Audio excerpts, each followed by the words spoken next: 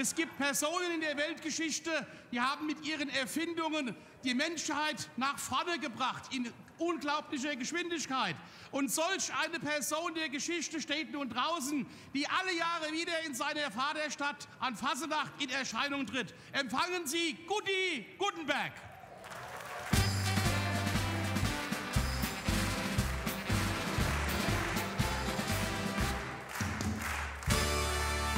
Einen schönen guten Abend, meine Damen und Herren. Herzlich willkommen, sage ich immer am Anfang zu Ihnen. Ich freue mich, dass Sie mich so nett aufgenommen haben. Schön, dass wir uns nach einem Jahr gesund wiedersehen. Ich habe Ihnen was mitgebracht. Was ist denn das? Ach, eine Wurst. Ich bitte Sie. Das ist eine Wurst. Das ist eine echte Menser Fleischwurst. Und das ist noch mehr. Meine Damen und Herren, das ist meine Antwort auf den Veggie Day der Grünen.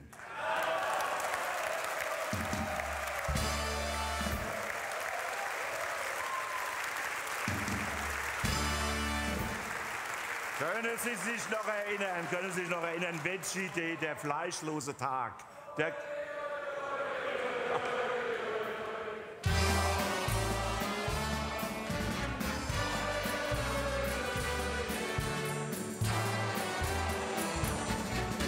Veggie Day, der fleischlose Tag, der größte Wahlkampfschlager aller Zeiten. Wie hieß es bei den Grünen? Wir müssen umdenken, wir müssen weg vom Fleisch hin zur vegetarischen Gesellschaft. Vegetarische Ernährung hat die Menschheit geprägt. Schon bei den Steinzeitjägern gab es Vegetarier. Ja, das waren die, die nichts gefangen haben.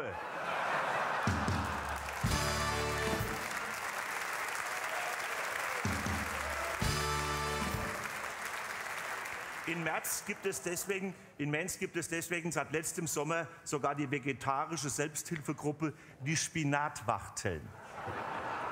Lauter relativ derre Dame zwischen 40 und 50 mit Doppelname.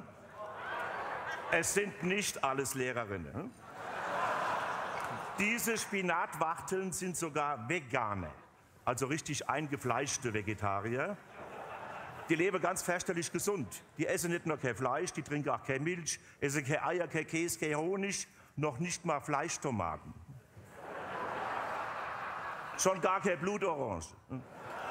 Da gibt es eine Woche lang bei Vollmond geerntete Hirse mit Dinkelgrütze oder eine Woche lang in selbstgeflochtenen Weidenkörben gesammeltes Fallobst.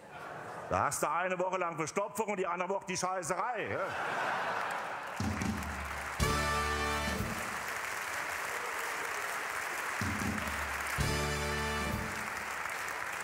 Aber im Durchschnitt eine geregelte Verdauung, ja. Aber ich bin ja lernfähig, auch ich werde einmal Veganer, aber erst dann, wenn ich ins Gras beiße. so, meine Damen und Herren, jetzt muss ich was ganz Wichtiges machen. Was meinen Sie, was ich hier mache? Ich wickle die FDP ab. FDP. Ältere werden sich noch erinnern. Naja, die hat ja wirklich Pech bei der letzten Bundestagswahl 4,8 Prozent. Mit 4,8 Prozent knapp an der 5 Prozent Hürde gescheitert. Zu D-Mark-Zeiten wären das noch 9,6 gewesen. Hier ist er. Guido Westerwelle. Er war ja ein prima, ein prima Minister, wirklich. Also, also wenn er Freunde hätte, könnten die das bestätigen. Und hier Dirk Niebel, unser fliegender Teppich. Er hat mir immer Spaß gemacht. Ja, er war ein hochbegabter Politiker. Ich habe letztes Jahr noch gesagt, der Nibel ist was ganz Besonderes. Der Nibel, der ist die Stradivari unter den Arschgeigen. Ne?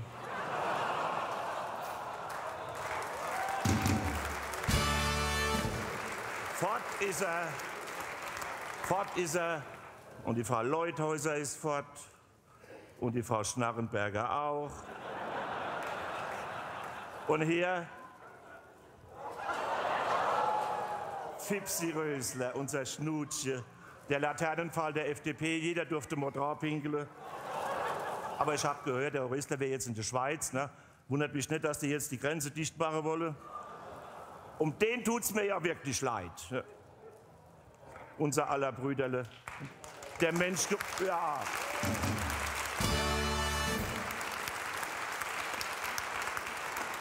Der menschgewordene Seniorenteller ein großer Verlust. Ich fand den Brüderle immer Oberaffentitten geil, aber er ist Gott sei Dank wieder unter, er ist jetzt in der Modebranche. Dort macht er Werbung für die Dirndl-Kollektion Reinerle. Aber, meine Damen und Herren, die neue Generation der Liberalen steht schon bereit. Jetzt kommt der neue Hoffnungsträger Christian Lindner, genannt Bambi. Guckt ein bisschen, guckt ein bisschen wie ein Nachwuchs-Callboy vor seinem ersten Hausbesuch. Und der soll ja der neue Genscher werden. Da fragt man sich doch, mit den Ohren, der Genscher, der hatte noch Ohren. Damit ist er jahrelang um die Welt geflogen. Trotzdem, die FDP hört natürlich nicht auf und wird bei den nächsten Wahlen wieder antreten mit diesem Wahlplakat. Aber noch bin ich nicht ganz fertig. Hier ganz neu auf meiner Rolle. Alice. Who the fuck is Alice? Alice Schwarzer, das Maschinengewehr der Emanzen. Sie hatte Schwarzgeld in der Schweiz gebunkert und sich an ihrem eigenen Heiligenschein die Ohren verbrannt. Und jetzt fragen Sie natürlich, was hat denn die mit der FDP zu tun? Kann ich Ihnen sagen? Nix. Aber ich glaube, sie verdient es, mit abgewickelt zu werden.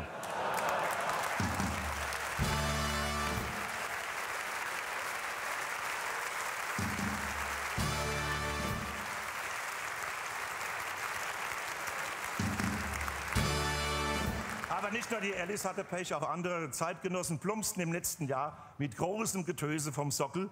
Können Sie sich noch an den 19. April 2013 erinnern? Das war der letzte Tag, an dem man Uli Hoeneß noch für einen anständigen Menschen hielt.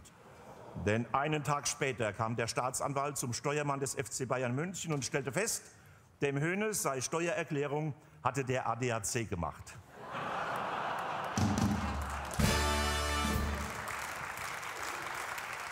Und so wurde aus der Mutter Teresa des FC Bayern der Zumwinkel von der Isar. Was meinen Sie, wie geht der Prozess aus? Ende März werden wir es wissen. Ich vermute, man erarbeitet einen sehr komplizierten Deal mit dem Staatsanwalt. Statt Hoeneß geht Rummenigge in den Knast. Der muss dort Uhren reparieren.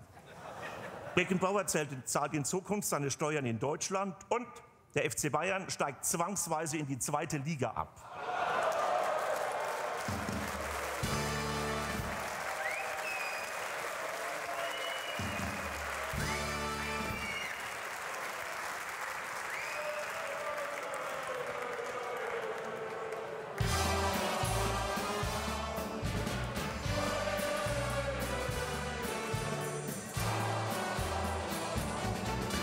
Das wäre doch die nächste, die nächste Saison. Bayern München in der zweiten Liga zusammen mit der Eintracht aus Frankfurt.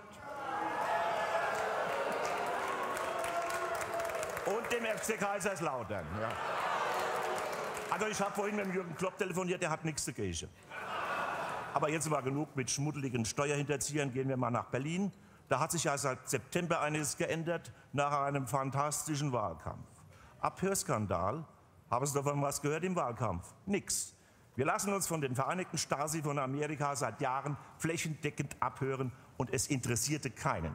Das Einzige, was die Deutschen interessierte, war der Stinkefinger vom Steinbrück und die Halskette von der Merkel. Tja, wir haben die Freiheit zu verblöden und wir nutzen sie auch.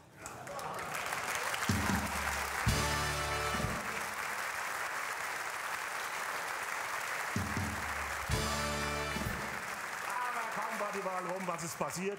Nix. Wir hatten fast drei Monate lang keine neue Regierung und schönste war, keine Sau hat's gemerkt.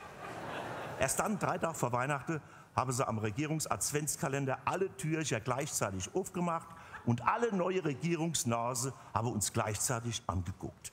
Angela Merkel wurde Kanzlerin. War natürlich eine Riesenüberraschung. Nur der SPD war klar geworden, Merkel kann man nicht abwählen, Merkel muss man überleben. Obwohl, es ging ihr in der letzten Woche nicht so gut wegen dem Unfall, den sie hatte. Wie sagte Regierungssprecher Steffen Seibert, also ihr Sprechknecht, die Kanzlerin der Bundesrepublik Deutschland wurde während ihrer Freizeitgestaltung nach einer seitlichen Torsionsbewegung am Beckenboden mit einem harten Untergrund konfrontiert. Wenn er gesagt hat, die Merkel ist beim Skifahren kräftig auf der gefallen, hätte jeder verstanden. Und jetzt ist rausgekommen, wie das wirklich passiert ist. Ein Leibwächter hat gequatscht. Also, die Merkel hatte heimlich für Sochi trainiert. Und dort war sie ganz langsam Ski lang gelaufen. Ganz langsam. Und wahrscheinlich war nicht gestreut. Und Batsch hat sie doch gelesen. Es wäre nichts passiert. Aber von hinten kam der Peter Altmaier auf dem Snowboard und der hat sie platt gemacht.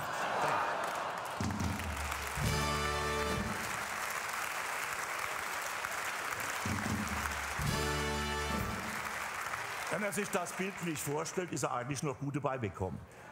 Aber gucken wir mal in Berlin die Regierungsmannschaft weiter an. Arbeitsministerin wurde Andrea Nahles, die Krawallschachtel aus der Eifel, die Rosa Luxemburg der freilaufenden Hühner.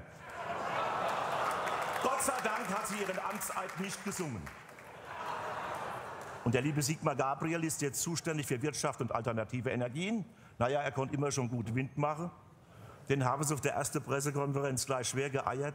Die Bildzeitung hat gefragt, Herr Gabriel, können Sie unseren Lesern verraten, wie viel Kilo Sie momentan auf die Waage bringen? Oh, da war der stinkig. Lass es den Quatsch, lass es Quatsch, Quatsch. Da hat er von der Bildzeitung gesagt, bitte Herr Gabriel, wenigstens die ersten beiden Zahlen.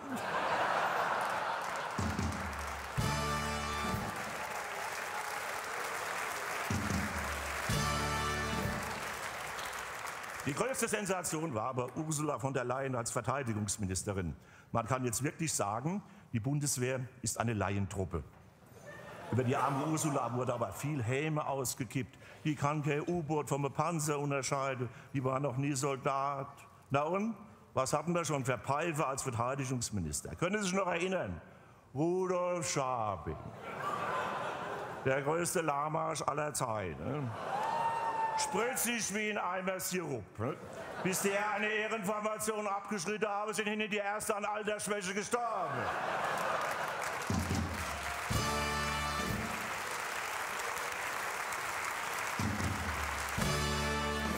Wenn der durch den Wald gelaufen ist, ist ihm das Efeu die Beine hochgewachsen. Mit solchen Typen kann unser Urselche von der Leyen locker mithalten. Und die psychologische Kriegsführung beherrscht sie auch schon. Haben Sie gesehen? Diese kleine, blonde, zierliche Frau war kurz vor Weihnachten am Hindukusch. Der Taliban ist vor Schreck der Turban geplatzt. Und dann hat diese kleine, blonde, zierliche Frau mit den Soldaten und Soldatinnen Plätzchen gegessen. Selbstgemachte Plätzchen gegessen und Christstollen in den Kaffee getunkt. Und ein alter Feldwebel sprach mit Tränen in den Augen. Seit meinem sechsten Lebensjahr glaube ich nicht mehr ans Christkind. Und jetzt kommt's persönlich mit dem Hubschrauber. Persönlich.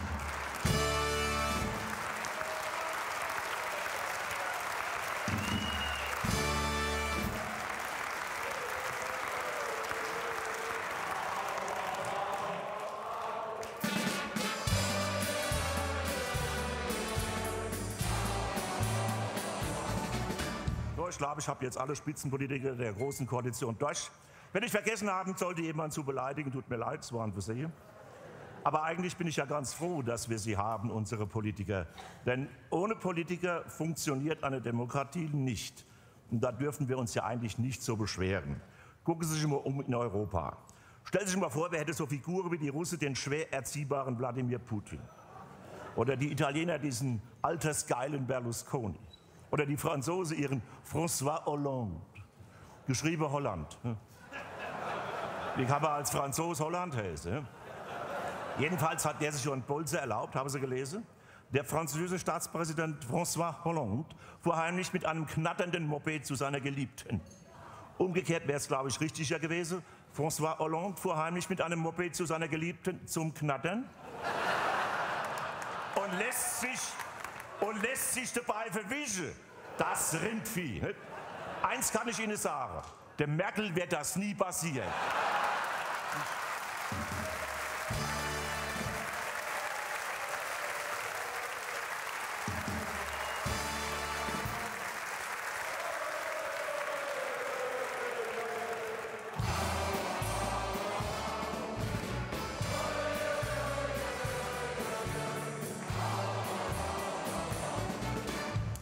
Kann nämlich kein Moped fahren. Ne?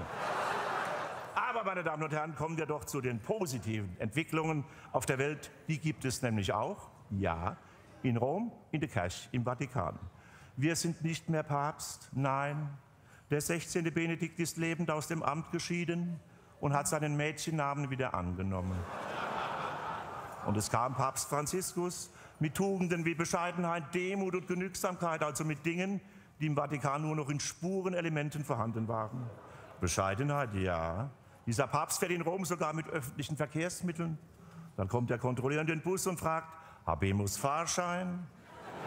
Und dann lächelt der Papst und sagt, Habemus Monatskarte.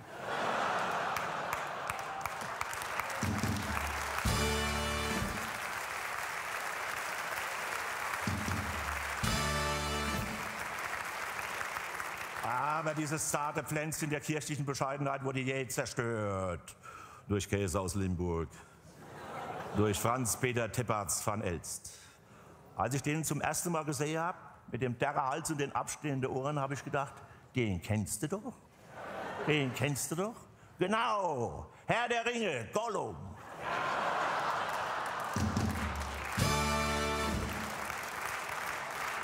Und dieser Franz-Peter Gollum Teppertz van Elst dachte sich, ich werde etwas Ewiges schaffen, ich werde bauen. Aber nicht so, wie ich aussehe, nein. Ich baue groß, ich baue schön, ich baue teuer. Ich brauche eine voll klimatisierte Reliquienwand. Eine große Badewanne mit Whirlpool und integriertem ewigem Licht. Eine stufenlos regulierbare Weihwasserdusche und einen freischwebenden Adventskranz. Denn ich bin Teppertz der Erste und Gott ist der Zweite. Meine Damen und Herren, ich glaube, auf solche Ideen kommt man nur dann, wenn man keinen Sex haben darf.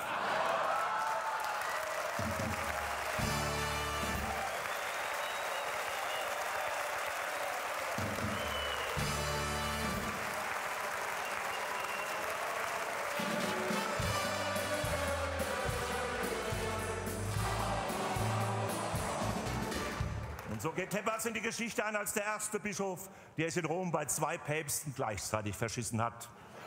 Aber nun muss unbedingt die Frage beantwortet werden, wer übernimmt das Bistum Limburg? Ich hätte eine Lösung. Der Mainzer Obermessdiener Andreas Schmidt.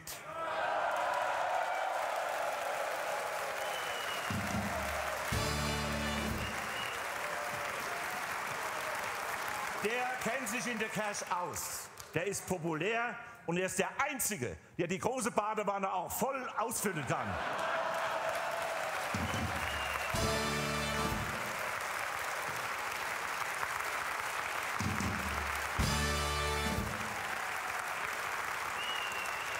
Ja, meine Damen und Herren, man soll gehen, wenn es am schlimmsten ist.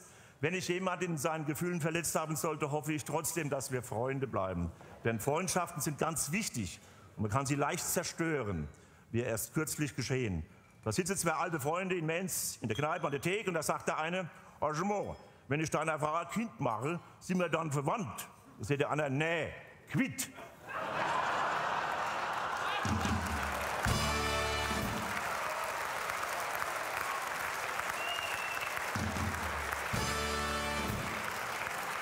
So, und an dieser Stelle höre ich auf und steige wie immer auf meinen Sockel rauf.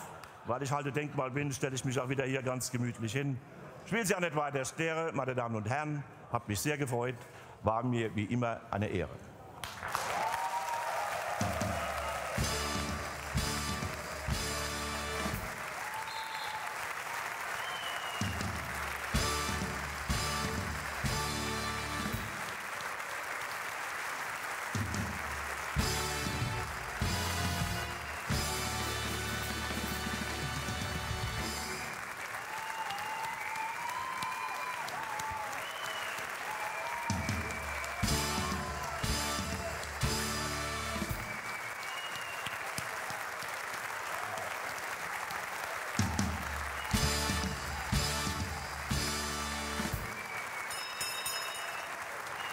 Narrenschar, die hohe Kunst des politischen Vortrags, der Prosa-Rede, wunderbar interpretiert von Hans-Peter Betz. Lieber Hans-Peter, dir gilt es mehrfach Dank zu sagen. Jahrelang warst du hier Sitzungspräsident, hast dein Publikum begeistert, findest immer noch Zeit für deinen grandiosen Vortrag. Du bist gnadenlos. Du hast angedroht, dass du mit deinem 60. Lebensjahr vollendet hast, keinen Sitzungspräsident mehr machst. Diese Drohung hast du wahrgemacht. Du hast uns weiterhin angedroht, dass du in drei Jahren keinen Vortrag mehr hältst. Ich hoffe, du überlegst es dir. Es wäre ein großer Verlust, wenn die Mensa Hassener. Hans-Peter Betz!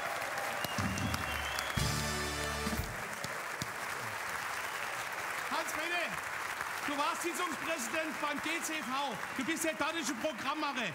Du bist einer derjenigen Menschen, der jungen Narren die Möglichkeit gibt, aufzutreten und den Nachwuchs förderst. Und das ist das Wichtigste, was wir tun können. Recht herzlichen Dank mit einem dreifach dankbar. Hello! Hello!